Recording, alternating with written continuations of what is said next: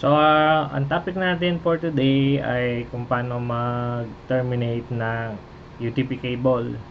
So, ang common naman ng naman na UTP cable ngayon ay yung Cat5 or yung Cat6. So, ang kakailanganin natin sa pag-terminate ay itong ating crimper, itong ating uh, wire stripper, RJ45, at saka itong ating mga UTP cables. So, may dalawa akong uri ng UTP cables dito. Ang isa ay indoor ang, at ang isa ay outdoor. So, ano bang pinagkaiba ng dalawa? Itong outdoor, pwede itong araw-ulan sa labas. So, waterproof siya.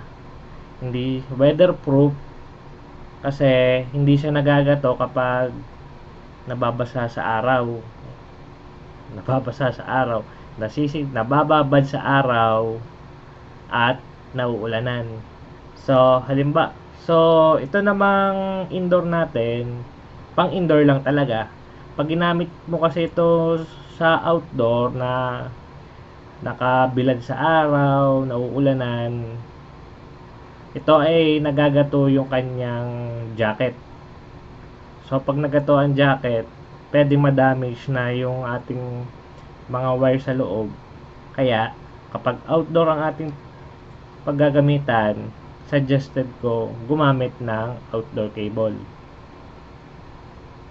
So, ang gagawin natin ngayon, i-clip natin itong pang outdoor. Pinagkaiba naman ito sa outdoor sa indoor, mas matigas itong outdoor kaysa dun sa indoor. Ano?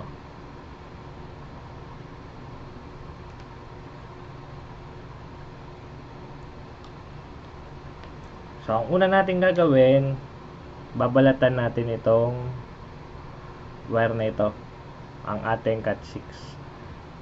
Gamit ang itong wire stripper na kasama itong crimper. Ito kasi pag binili mo set na itong dalawa. Yan.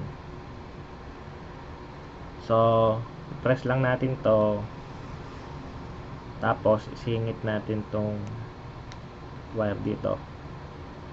So kapag naisingit na natin, iikot lang natin ito ng ilang beses. Yan, nakawala. Ikot natin mga dalawa tatlo. Tama, nakita nyo. Meron na siyang ano. Ngayon kapag niliko mo yan, makikita mo na yung mga wires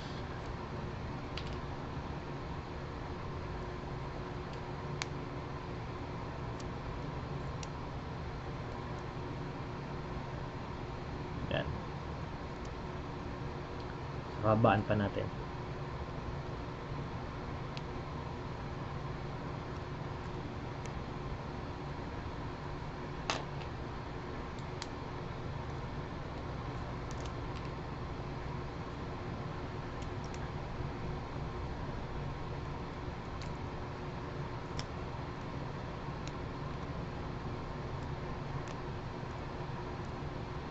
So, ikat natin ito. Itong divider ng mga wire na yun.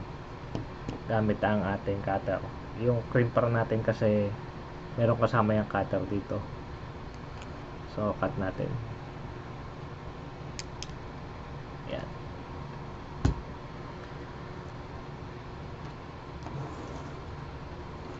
So, may print out. Nag-print ako dito para mas madali yung makita yung connection natin sa RJ45 so una natin gagawin pag hiwa-hiwalayin muna natin itong mga twisted pair.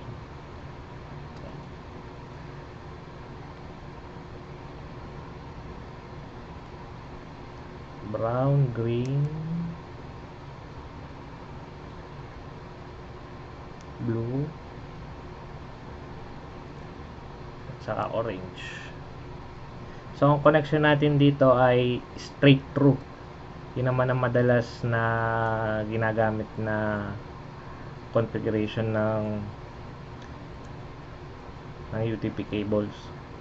So, tuwidin lang natin dahil na medyo liko-liko pa siya dahil ng pagkaka-twist niya. Then, kapag natuwid na natin, ipatas na natin yung mga color. So, brown, brown, white, then green,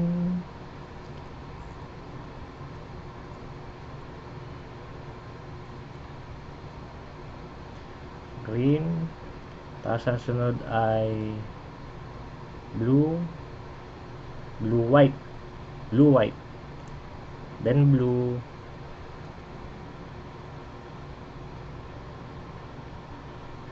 then green white. Orange saka orange white. So hindi naman kayo masyado malilito dito da kasi alternate yung solid colors sa may halong white. So then pag napatas nyo na tuwidin nyo yung mga wires i-plug nyo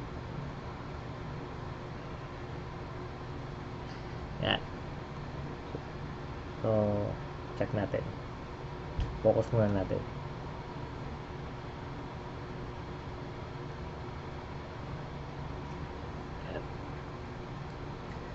Brown, brown, white, green, blue, white, blue, green, white, orange, orange, white.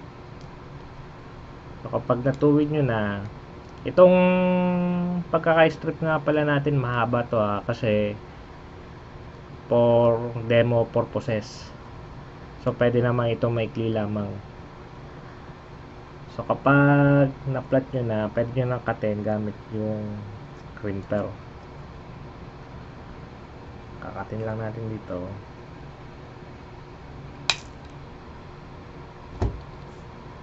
Okay. So, ipapasok na natin ito dun sa RJ45. Ito yung RJ45. So, ito yung ibabaw, yung may panglock at saka yung ilalim. So, ang ating titingnan lagi pag ipinapasok ay yung ilalim.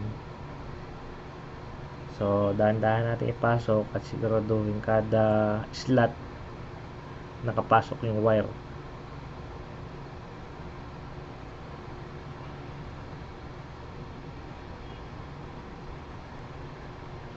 So kapag pinapasok nyo yung wire, makikita nyo na nakasagad na yung mga wires. Nakakubutin ko konti.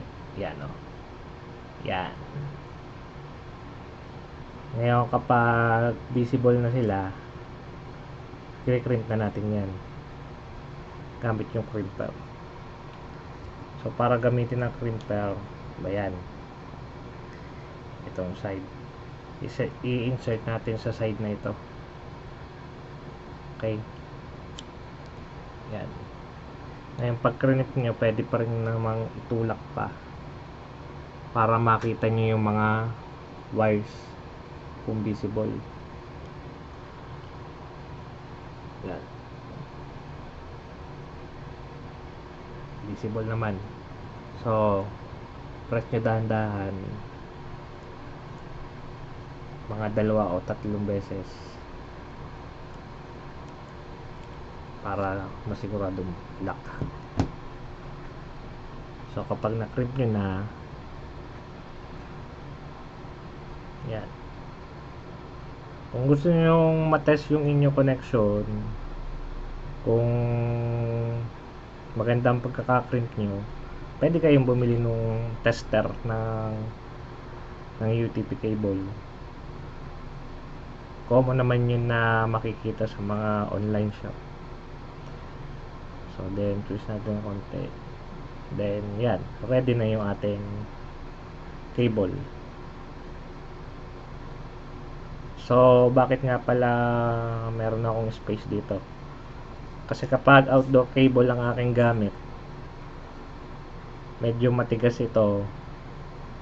Kapag isinagad ko tong may jacket dito sa bandang loob, kapag isinaksa ko sa router, nalaban yung yung wire dun sa router So kaya meron ako space dito. Pwede ko yung ili kong ganyan. Yan. Then, salpa ko to sa router. So, yun na muna. Sana may natutunan uli kayo sa video ito. Ah, please like and subscribe our channel sa iba pang mga tutorials. So, babay na muna.